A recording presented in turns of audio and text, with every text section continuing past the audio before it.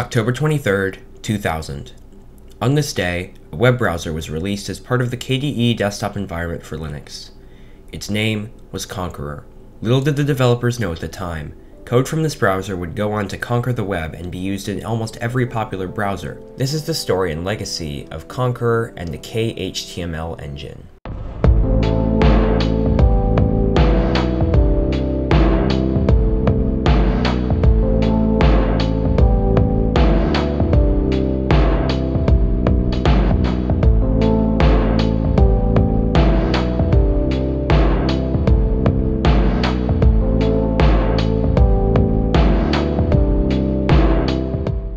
Chapter 1 The Beginning In 1996, the KHTMLW, or KDE HTML widget, began as a precursor to the KHTML engine. As the name suggests, however, it wasn't a full web engine.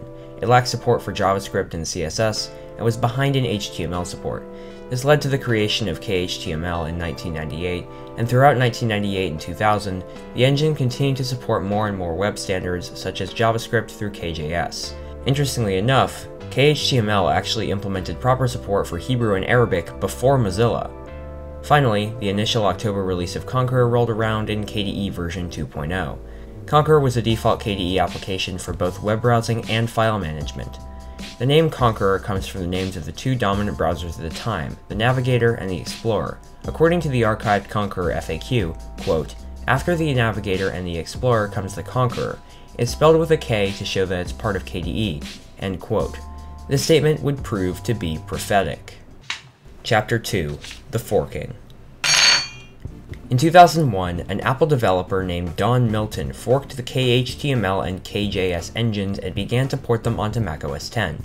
Why KHTML and not Mozilla? The KHTML code was much smaller and easier to work with while still being very compatible with web standards. By 2003, the porting process was complete, and announced in an email to the KDE team shortly before Safari's release. The unmodified KHTML and KJS engines were developed for Qt, however, so WebCore and JavaScript Core were developed as adapter libraries. Safari 1.0, and with it the first stable version of WebKit, was originally released in 2003. At this point, the KHTML and WebKit teams had gotten along fairly well. However, by 2005, this had changed. Chapter 3 The Conflict For the first two years of Safari's existence, much of Apple's WebKit engine was closed source.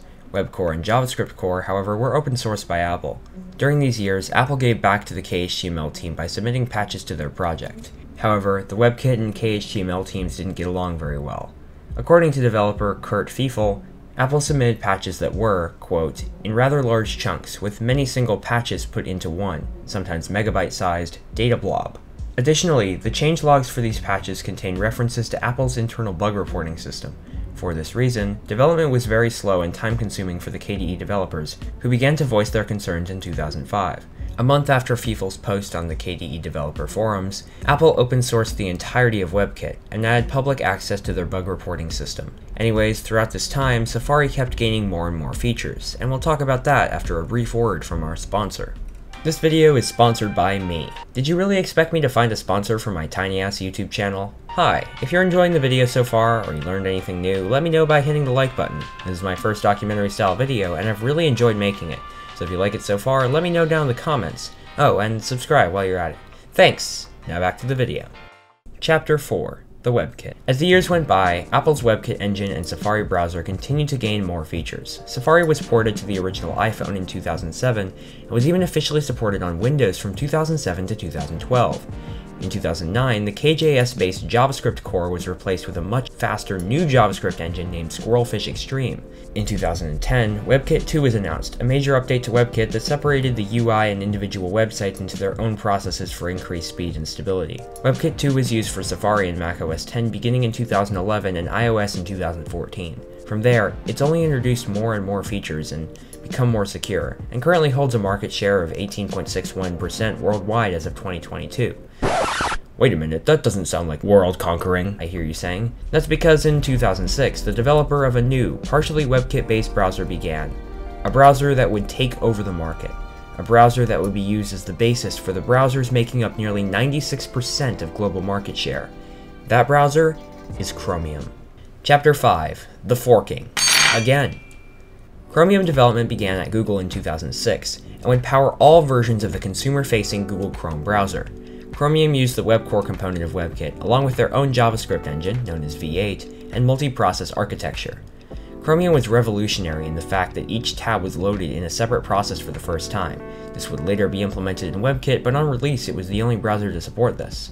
On September 2, 2008, Google Chrome entered the public beta, and the underlying Chromium project was made open source. Chrome gained market share very fast, surpassing Safari in 2009, Firefox in 2011, and Internet Explorer in 2012.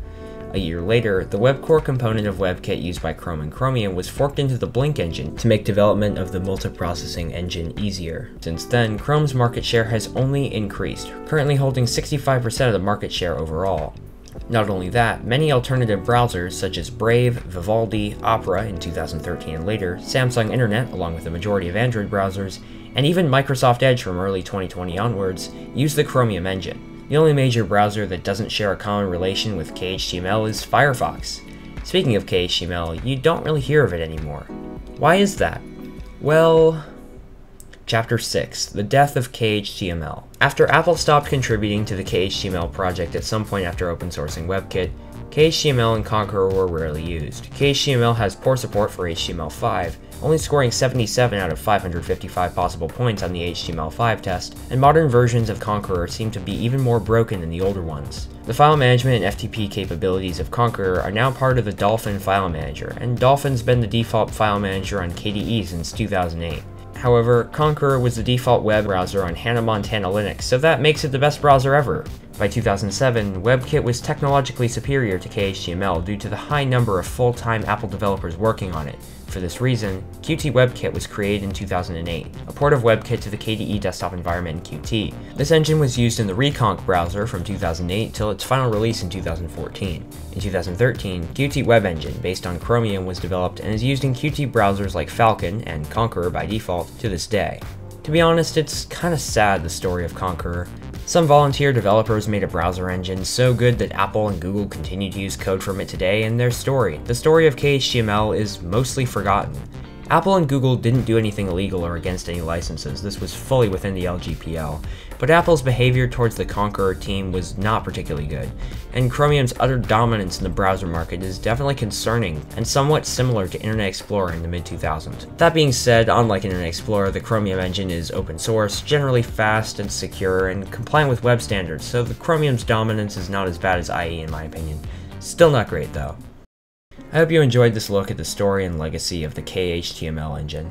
The sources are linked down in the description, so if you want to learn more, check there. This is also my first ever documentary style video, so please leave your feedback down in the comment section. Thanks for watching, and I'll see you in the future.